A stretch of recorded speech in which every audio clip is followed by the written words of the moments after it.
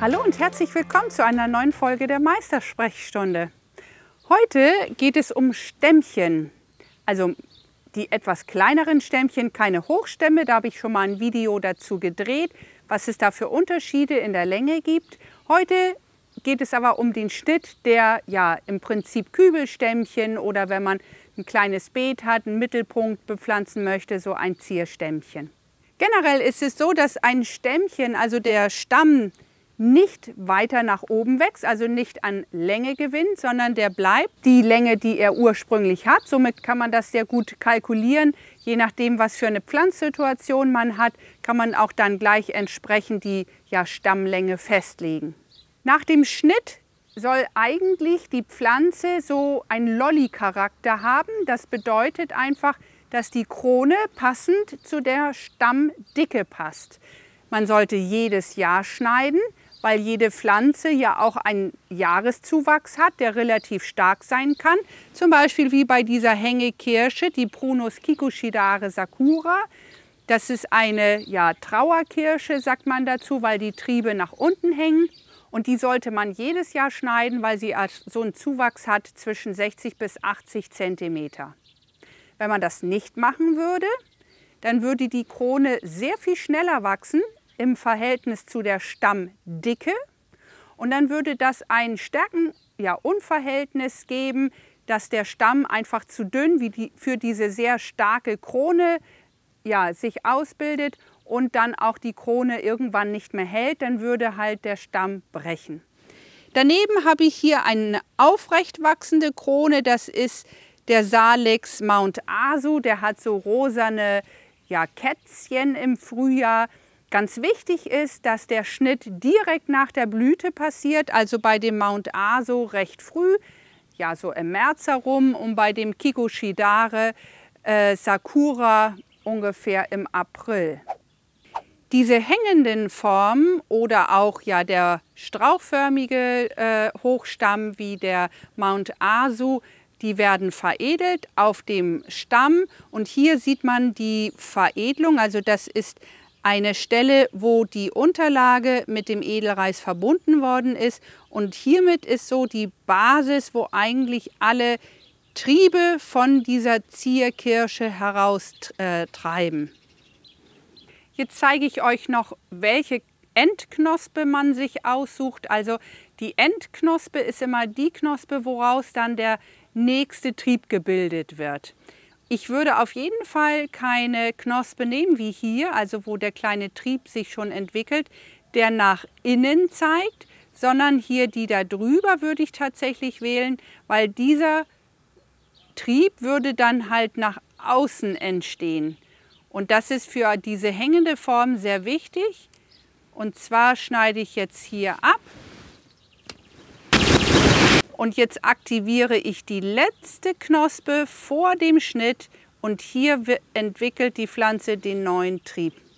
Wie ich schon erwähnt habe, sollte das Endergebnis dann ja der Optik eines Lollis darstellen und je nachdem, was die Pflanze an Zuwachs hat, also jetzt bei der Kikushidare Sakura, die hat einen langen Trieb, das sieht man hier seitlich, da kann man wirklich so weit zurückschneiden, dass wirklich dann der Endtrieb nur noch 10 bis 15 cm ja, bleibt. Und aus diesen 10 bis 15 cm wird die Endknospe, also die Knospe, hinter der man schneidet, aktiviert und da wird der neue Trieb daraus gebildet.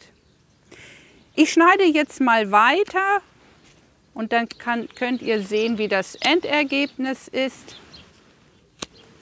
Auch hier achte ich überall und gucke, welche Knospe nach oben zeigt, dass sich dann wirklich wieder eine schöne, ausladende Krone entwickelt. So, jetzt sind wir bei dem Salix Mount Aso, der mit diesen kleinen ja, rot-rosa Kätzchen.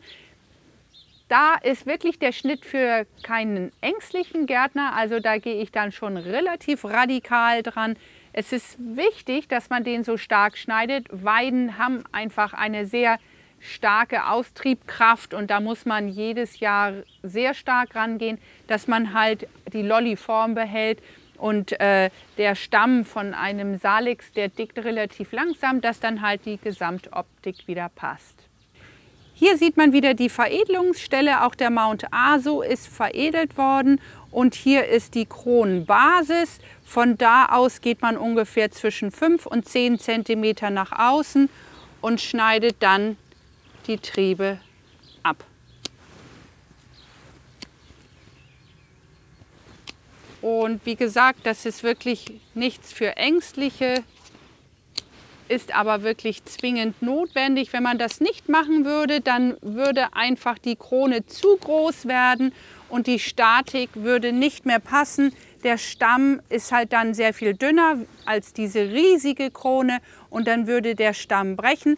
Generell würde ich aber empfehlen, ja für die ersten Jahre eine Stütze anzubringen. Also hier diesen Bambusstab einfach mit dran lassen, wenn man den, die Pflanze in den Garten setzt, dass einfach ja, die, der Stamm noch ein bisschen gestützt wird und dass sich die Krone auch dann gut entwickeln kann. Hier sieht man das ganz gut. An diesem kurzen Stummel von diesem verbleibenden Trieb sind ganz viele kleine rote Augen, also Knospen. Und das ist ja eine strauchförmige Krone und auch aus dem Inneren, aus jeder Knospe, kann ein Trieb entstehen und somit wird das dann wieder eine sehr schön kugelrunde Krone. So, es sind jetzt acht Wochen vergangen und ich habe den Mount Aso jetzt weiter versorgt und wollte euch wirklich das Ergebnis jetzt mal zeigen. Wenn jemand ein bisschen Angst hat, die Krone so stark zurückzuschneiden, also kann ich euch die Angst nehmen. Es sind wie gesagt acht Wochen vergangen und in dieser Zeit haben sich wirklich sehr schön die neuen Triebe entwickelt. Ja, ich sag mal, ja, fast 40 Zentimeter lang und so kann man natürlich jedes Jahr die Krone sehr jung, sehr frisch und eben formal sehr gut behalten. Allerdings ist es bei diesem Salix Mount Aso so, wenn man da den Kopf ja schneidet, entwickelt er an dem Stamm auch kleine Triebe und die sollte man natürlich total zurückschneiden, damit man halt ja diese Lolliform erhält, weil das ist ja der Stiel und ja die Krone soll ja im Prinzip schön rund und sehr formal bleiben, aber am Stamm sollen natürlich keine Triebe äh, wachsen. Wenn man das nicht machen würde, dann würde das wirklich im Laufe der Zeit ein großer Strauch werden. Deswegen ist diese Pflegemaßnahme sehr wichtig, auch an diesem Stamm die falschen Triebe im Prinzip, die man nicht haben möchte, sehr stark zurückzuschneiden. Ich zeige euch das jetzt, weil da ist auch was zu beachten. Man sollte wirklich ganz, ganz dicht abschneiden.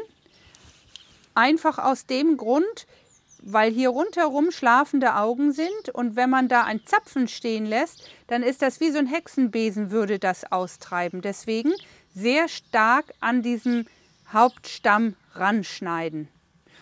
Und man sollte es auch etwas ja, früher machen im Prinzip, also man sollte nicht zu lange warten, einfach dass die Wunden nicht zu groß werden.